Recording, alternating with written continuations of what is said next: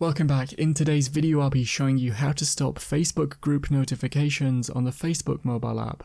Remember to leave a like and feel free to subscribe if the video helps. Let's get into the method.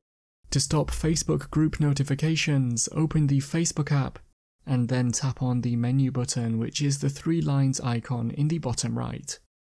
On here scroll down and select Settings and Privacy. Now tap on Settings and then select Notifications which is in the Preferences section.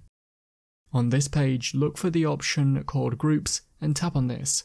You can turn off the top toggle switch to stop all notifications from groups, or choose where you want or don't want to receive them individually below.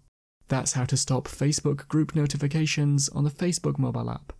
Click the card on screen now to watch a video of mine showing you 10 easy ways to speed up your iPhone or iPad. If you have any questions, then let me know in the comments below and if you did find today's video helpful, remember to leave a like and feel free to subscribe for more tips in the future.